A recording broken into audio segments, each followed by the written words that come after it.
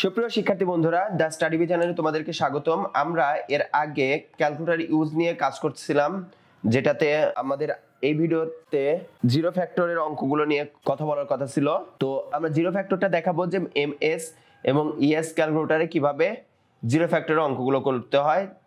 এই ইএস এবং ইএক্স দুইটা ক্যালকুলেটারই কোয়াইট সিমিলার যার কারণে আমরা এটা দেখালেই এটার অঙ্কটাও করতে পারব।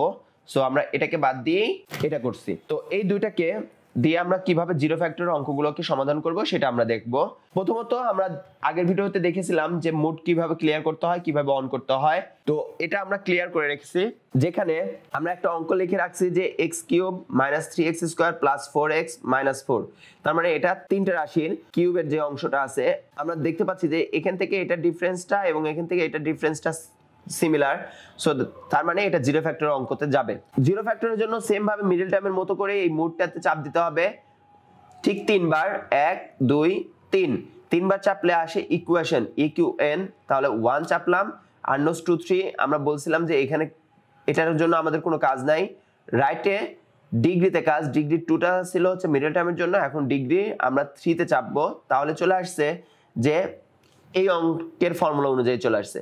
তাহলে এই অংশটাকে যদি আমরা a x cube plus b x square plus c x plus d এটার সাথে যদি তুলনা করি, তাহলে এর মান আমরা দেখতে পাচ্ছি যে এক্স এক্স কিউবের সামনে যেটা আছে সেটা হচ্ছে এর মান। তো তাহলে এর মান হচ্ছে ওয়ান এক্স কিউবের সামনে আছে, তাহলে ওয়ান দিয়ে ইকুয়াল দিলে বলছে বি এর মান কত? তাহলে বি এর মানটা আমরা যদি বলি, তাহলে বি এর মানটা এখানে মাইনাসের থ্রি কারণ এখানে এক্স স্কোয়ারের সামনে আছে মাইনাসের থ্রি তাহলে মাইনাসের থ্রি ইকুয়াল দেওয়ার পরে আসছে সি এর মান। তাহলে এক্সের সামনে যেটা আছে সেটা হচ্ছে সি এর মান, যেটা হচ্ছে ফোর তাহলে ফোর দেওয়ার পর ইকুয়াল দেওয়ার পর আসছে ডি এর মান। ডি এর মান বলতে এই লাস্টের মানটা, যেটা হচ্ছে মাইনাসের ফোর দেওয়ার পরে এখানে আমাকে উত্তর বলছে যে একটা মান হচ্ছে টু আর একটা মান আসছে পয়েন্ট ফাইভ আর আরেকটা মান আসছে পয়েন্ট ফাইভ আচ্ছা দুইটা পয়েন্ট ফাইভ আসছে।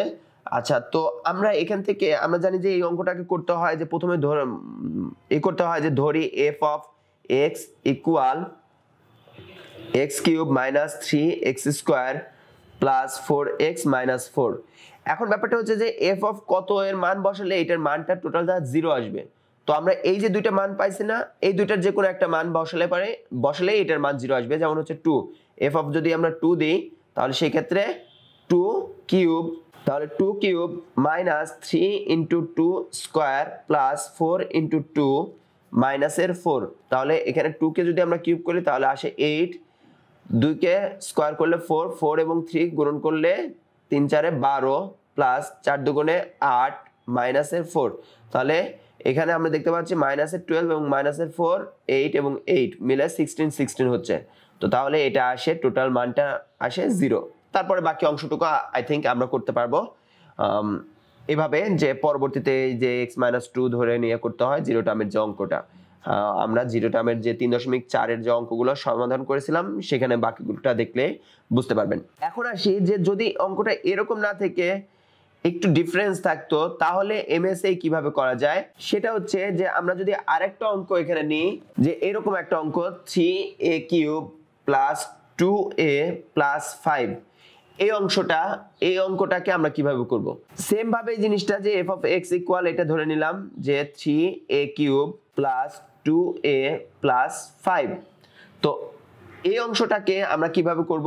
সেম ভাবে যে, আমরা যদি ইকুয়াল চাপি এর মান এর মান এখানে থ্রি কিন্তু এখানে দেখেন এক্স স্কোয়ার সামনে কিছু নাই, তার মানে বি বি এক্স স্কোয়ার অর্থাৎ এক্স স্কোয়ারের কোনো মান নাই, তার মানে এই বি এর মানটা আমরা দিয়ে দেব যে বি এর মানটা এখানে অ্যাড করব, সেটা হচ্ছে জিরো কারণ এক্স স্কোয়ারের কোনো মান নাই। তো তাহলে সি এর মান বলছে, তাহলে এর সামনে যেটা আছে সেটা হচ্ছে সি এর মান। তাহলে সেটা হচ্ছে টু ইকুয়াল দেওয়ার পর বলছে ডি এর মান ডি এর মান প্লাস এর ফাইভ ইকুয়াল দিলেই আমাদের এখানে দেখাচ্ছে মাইনাসের ওয়ান এবং আরেকটা মান দেখাচ্ছে পয়েন্ট ফাইভ তার মানে আমরা যদি মাইনাস ওয়ান দিই তাহলেই তো হচ্ছে এফ অফ এটা আমরা দিলাম মাইনাস ওয়ান তাহলে কীভাবে হয় দেখাই যে three into minus one cube plus two into minus one plus five তাহলে এখানে মাইনাসের থ্রি আপনারা জানেন যে মাইনাস ওয়ানকে কিউব করলে অর্থাৎ এখানে যদি জোর থাকে তাহলে প্লাস হয়ে যায়, এখানে যদি বিজোড় থাকে তাহলে সেটা মাইনাস হয়ে যায়। তাহলে এটা মাইনাসের থ্রি মাইনাস ওয়ান এবং টু গুণন করলে মাইনাসের টু প্লাসের ফাইভ তো তাহলে এটা এটা জিরো তার মানে আমরা একটা মান পাচ্ছি যে মাইনাসের ওয়ান এখন বাকি অংশটুকু আপনারা করতে পারবেন আই থিঙ্ক যে এক্স এখানে ধরে নিতে হয় যে x plus one f of এক্সের একটি সাধারণ উৎপাদক। এই অংশটা, বাকি অংশটা যেভাবে মাত্রা করতে হয়, সেটা আমাদের তিন দশমিক চার অনুশীলনীতে দেওয়া আছে। এই পর্যায়টাতে আমরা এম এস এর পরিবর্তে যদি আমরা ইএস দ্বারা করতাম, তাহলে ইএস দ্বারা কীভাবে করব সেটা আমরা দেখাবো। ইএস তো ইএস ক্যালকুলেটারেও আমরা মুডটাকে ক্লিয়ার করে রাখছি। তো এই ইএস ক্যালকুলেটারে আবার সেই মোড়ে গিয়ে ইকুয়েশন ফাইভ ফাইভে আছে ইকুয়েশন ফাইভ চাপলাম। তাহলে এখানে তিন চাপছিলাম আমরা মিডল টার্মের জন্য। ঠিক ফোর চাপতে হবে এখানে। জিরো টার্মের জন্য। তাহলে এখানে চাইছে এর মান সেম মিডল টার্মের মতো করেই যে এর মান আমরা এখানে এক্স স্কোয়ারের এক্স কিউবের সামনে আছে ওয়ান তাহলে ওয়ান ইকুয়াল এক্স স্কোয়ারের সামনে আছে মাইনাসে থ্রি তাহলে মাইনাসে থ্রি ইকুয়াল এক্সের সামনে আছে ফোর তাহলে ফোর ইকুয়াল এবং ডি এর সামনে ডি বলতে এখানে মাইনাসের ফোর তাহলে ইকুয়াল চাপার পরে আরেকবার যখন আমরা ইকুয়াল দেব, তখনই আমাদেরকে মান দেখাচ্ছে একটা মান টু তো আমার বিশ্বাস যে বাকি অংশটুকু বুঝতে পারছেন যে এখানে টু মানটা আসছে, তো কীভাবে করতে হবে? একইভাবে এটার ক্ষেত্রেও সেম জিনিসটা, যখন আমরা চাপবো, এখানে চাপি যে এর মান এর মান এখানে হচ্ছে থ্রি তাহলে থ্রি ইকুয়াল বি এর কোনো মান নাই এখানে, যার কারণে সেটার মান আমরা জিরো দিচ্ছি। আর এর সামনে আছে টু তাহলে টু ইকুয়াল তারপরটা হচ্ছে ফাইভ ডি এর মান ফাইভ ইকুয়াল দেওয়ার পরেই আসছে প্রথম মানটা মাইনাসের ওয়ান তাহলে মাইনাসের ওয়ানটা আমরা নেব।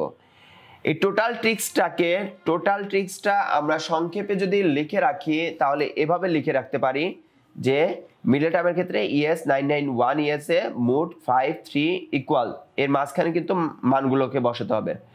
এম এস হান্ড্রেডের গুলোতে হান্ড্রেড গুলোতে মোট মোট মোট তিনবার মোট চাপতে হবে ওয়ান তারপরে অ্যারো সাইনটা দিতে হবে, তারপর টু তারপরে ইকুয়াল চাপতে হবে। এরপরে জিরো ফ্যাক্টরের জন্য ইএসটা মোট ফাইভ ফোর ইকুয়াল আর এম এস এর জন্য মোট মোট মোট তিনবার মোট চেপে তারপরে ওয়ান তারপরে অ্যারো তারপর থ্রি তারপরে ইকুয়ালটা দিতে হবে। এভাবে জিরো ফ্যাক্টর এবং মিডল টার্মের অঙ্কটা করা যায়। আই থিঙ্ক এটা তোমাদের কাছে অনেক বেশি ইম্পর্টেন্ট যে এই কার্ডটা যে কার্ডটা অবশ্যই সবসময় মনে রাখবা যে এই অঙ্কগুলো সাধারণত অনেক বেশি চিন্তা না করে খুব সহজেই ক্যালকুলেটরের মাধ্যমে এগুলো থেকে মানটা বের করে নিয়ে বাকি অঙ্কটা করা যায়। এটাই ছিল জিরো ফ্যাক্টর নিয়ে আমাদের আলোচনা।